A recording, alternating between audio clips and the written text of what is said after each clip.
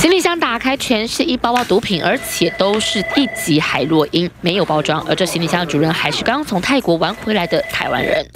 这些集团呢，以招待观光的名义呢，要这些年轻人拿着空的行李箱来出境，接着呢，将这些毒品呢，大麻一包包的装进里头，运送回台湾。这样一趟的奖金，一个人就有十万块。便宜度假，享受泰国阳光暑假，免费带你出国，还能赚钱。这个运毒集团利用年轻人或是残疾人士急需金钱，用招待出游、免费混进泰国旅行团，甚至有些去加拿大，再用行李箱或是身体运送的方式夹带毒品回台湾。这一次查一查，台洛因十四点五公斤，大麻六十八点三公斤，总价要价三亿元，被抓总共十三人，但里头不乏只有二十五岁到三十岁的年轻人，因为都以为毒品运送没什么罪，制造、运输、贩卖。第一级毒品会处死刑或无无期徒刑。呃，运输毒品的，他之后才知道，原来毒品危害防治条例对运输毒品的罚则有这么重。其实，在之前就有类似案例，两个朋友，本来都在南部科技大学念书，谈图免费旅游，外加十万酬劳，铤而走险，